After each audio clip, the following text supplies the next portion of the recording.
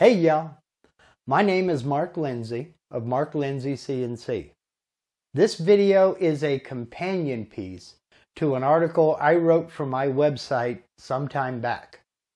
And it's geared toward the person who is an absolute beginner at the home CNC hobby. Now, if you are a CNC beginner, you probably have a whole bunch of questions. Probably the best place to start would be with a basic understanding of what a CNC is and how the process works. Now, a CNC has become kind of a generic term used to describe several different types of equipment, like a CNC router, a CNC mill, a CNC lathe, a CNC plasma cutter. And to their enthusiasts, each one of those pieces of equipment has become generically known as the CNC. So for this video, I'm going to focus on the CNC router since that's the type of equipment that I am familiar with. So what is CNC? CNC stands for Computer Numerical Control. Now this means all of the physical movements of the router are controlled by a computer through a mathematical coordinate system. The computer moves the router or spindle along three different directions on the table or axes. These are the x-axis, which is always from side to side as you face the machine. The y-axis, which is from front to rear as you face the machine. And the z-axis, which is up and down no matter which direction you're facing.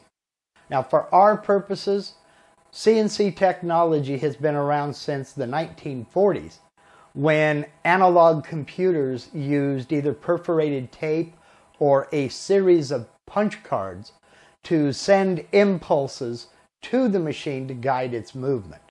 Now that system eventually gave way to electrical control, then electronic control, then gradually migrated to the digital system that we use today. The process that's used today by a home hobby CNCer is the same basic process that's used by huge manufacturing plants on big machines that can cost millions of dollars. These machines use specialized software which itself can cost up to several hundred thousand dollars. Now, while these machines and that software is so much more expensive, the process is basically the same. Now, the major parts of a CNC router can be broken down into several subcomponents. These include the bed or the table of the CNC, the gantry, which moves back and forth on that table, and the z-axis, which holds the router or spindle and its mount.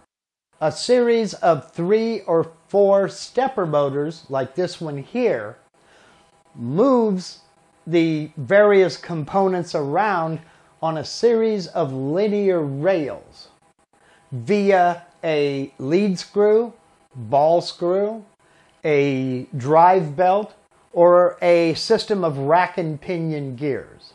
My Gatton CNC uses a precision ground Acme lead screw that threads into a lead nut. And as the motor turns, that lead screw also turns, and that nut, with any assembly that may be attached to it, moves back and forth along the length of this lead screw. All of the axes on this particular CNC have this lead screw. I have two, one on each side of the bed, that moves the gantry front to back. I have this one up here along the top that moves this assembly from side to side.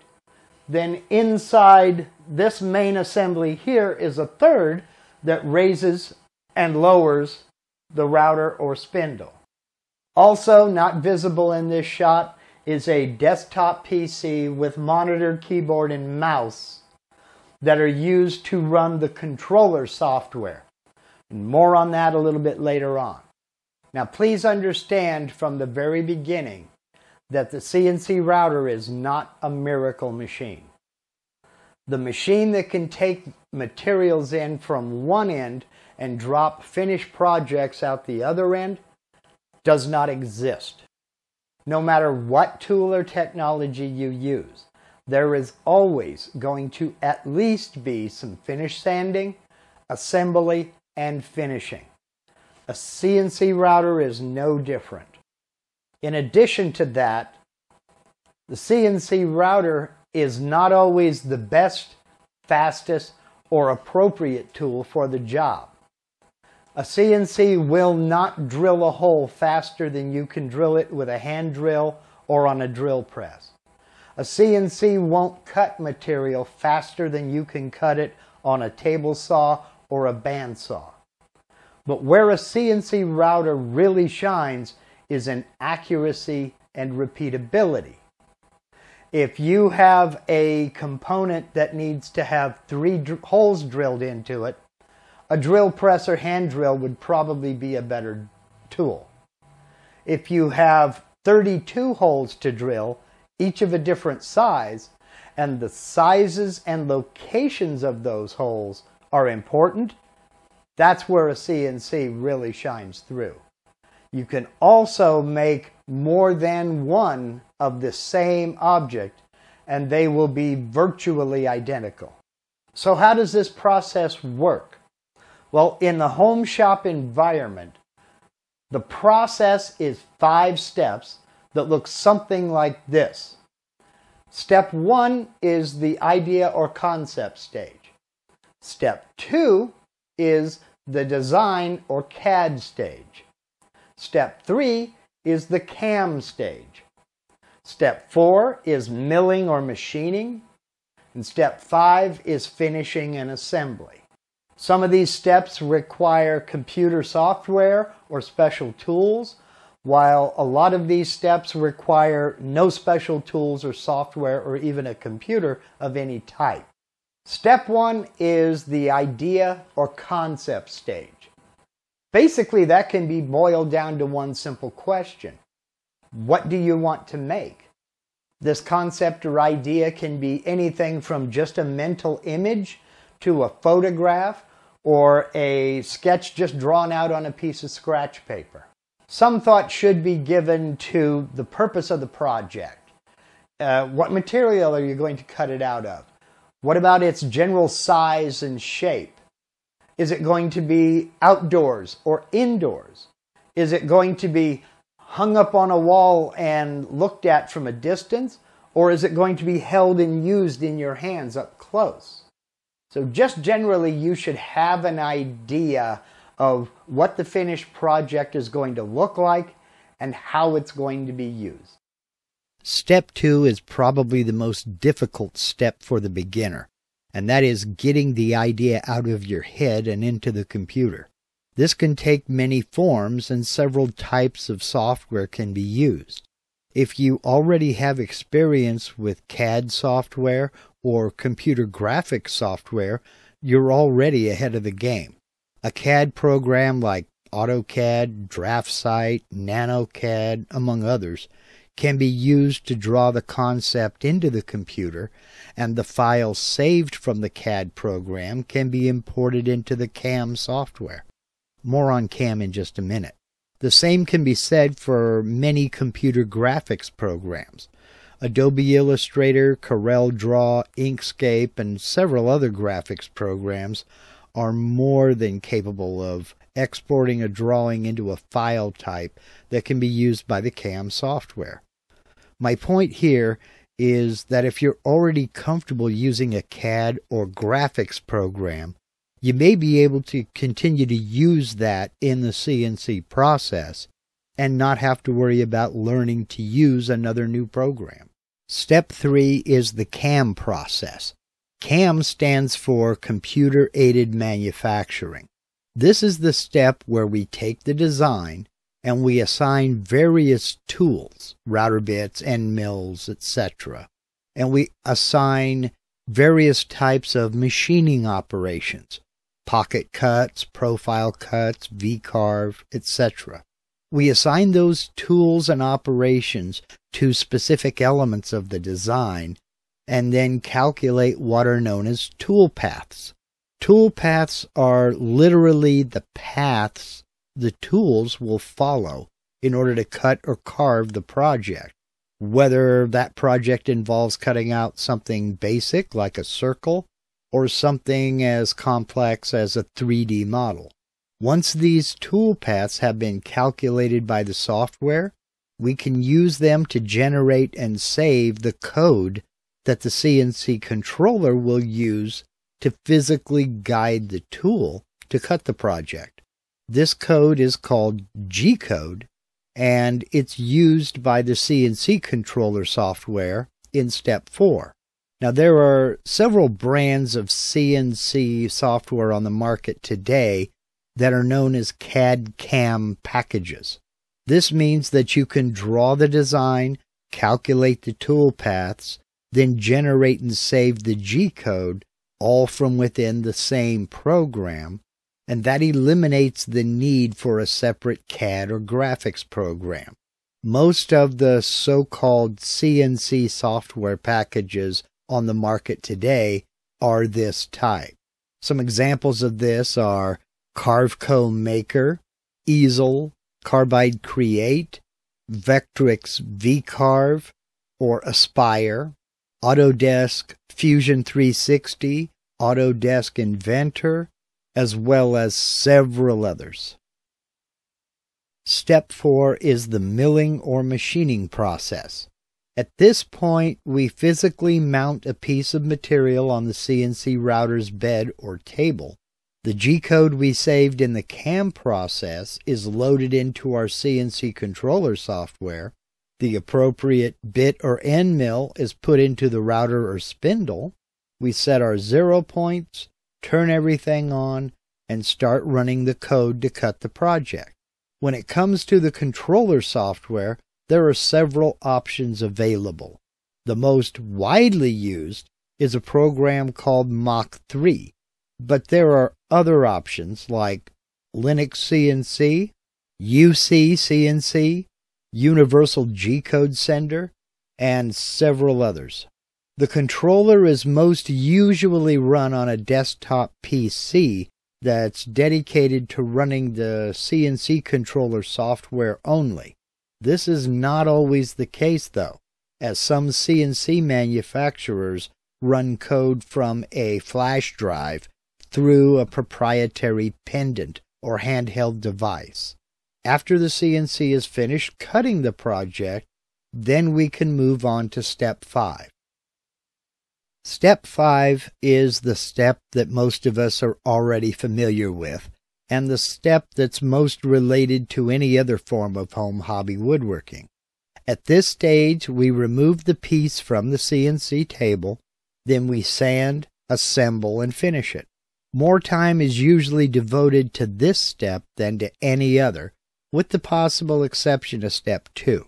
Now, while the CNC router can be very good at creating a piece, that piece very rarely comes off of the machine ready for finishing. There is almost always at least some finish sanding that needs to be done. Special sanding mops, wheels, and brushes and pads designed to be used on anything from a small rotary tool up to a drill press have been introduced to the market to make that job easier. And then finishing can be done in the same way any other woodworking project can be finished, whether it's oiled, stained and top coated, or painted. Now, a minute ago I said that the CNC router isn't a miracle machine. It isn't. It's just a tool, just like any other tool in your shop. Some people think of the CNC router as a employee or helper who works for free, where you could be assembling, sanding, or finishing one part while the CNC is cutting another part. And a lot of people do that, including me. Others use the CNC as a way of advancing their work into an area where they either don't have the knowledge or the skill set required, such as inlays or intricate carving. No matter what or how you think of a CNC, just know this they are here to stay. The CNC hobby movement is a big one and growing every day. As the prices of these machines come down further and further, more and more people are able to afford them. Many factory built machines that once came with five digit price tags are now within reach of a home hobbyist who has a large workshop or a garage where they can park a machine that takes up a fraction of the size of your average pool table. Now, when it comes to selecting a CNC router, just know that sometimes there really is no best. Oh, there are options and opinions to be sure. But sometimes there is no best CNC router. There is no best router or spindle. There is no best tool or end mill. Or there is no best size of machine. What I generally like to tell people is the best of anything is one you can afford, one that you're comfortable with, and one that does what you want it to do safely. So now hopefully you have at least a basic understanding of what the CNC process is. I know I didn't get into a lot of detail, but I have a full catalog of videos on my YouTube channel that will help you get into that detail. Now, it's easy to get lost in jargon, which is why I kind of try to keep it to a minimum. Do know that you will eventually have to learn some of that jargon because it's necessary for us to be able to communicate and know what one another is talking about. It's also easy to get overwhelmed with information. Information overload, as I call it, is probably the number one source of frustration for a person who's just getting started in this. And that's simply because there are just so many options out there. It's completely understandable. But do yourself a favor before you spend the first penny on anything and that is sit down and take an honest assessment of what you want to use a CNC router for. Because each use has its own criteria. Yeah, it would be nice to be able to put a machine in your shop that's capable of cutting parts out of a full sheet of plywood all at once. It would be great to have something that would be a CNC router, as well as a laser, as well as a stone carver, as well as a plasma table. But each one of those processes has different criteria and has its own problems and challenges. Ask yourself, how often am I realistically going to do all of those things? And let that be your guide. If you are going to make cabinets, you may have the need for a machine big enough to hold a full sheet of plywood. But how often are you going to make cabinets? If that's going to be your business, you shouldn't be looking at a home hobby CNC router. You should be looking at an industrial CNC router that comes with one-on-one hands-on training. So take an honest assessment of how you plan to use the CNC router. Ask yourself, what are you going to do with it? But answer it honestly and let that be your guide. So to wrap this up, let me just end by saying that the technology has become so inexpensive that a machine that was once considered out of reach of the average citizen and only available to multi-million dollar corporations can now be put in your home workshop. If you have knowledge of tools, you can even build your own CNC router. There are plenty of kits out on the market right now that can take on several forms. Some of these may be a few structural parts that need to be put together and other parts and pieces sourced from other vendors or suppliers to complete rolling chassis with all of the electronic components that you just need to assemble. Some of these can be as cheap as a few hundred dollars, and some can run up into the thousands. Just know that if you have a good working knowledge of tools, you can build a CNC router and put one in your shop. I know because I've done it. There is nothing magical, there is nothing mysterious, there is nothing secret about putting a CNC router in your shop. I know because I've done it. And if I can do it, I know you can do it. So, I hope you got something out of this video. And if you did, I do hope you'll subscribe to my channel, give this video a thumbs up, and I hope to see you this afternoon for a live Q&A session that'll start at noon Pacific, 3 p.m. Eastern, right here on my YouTube channel.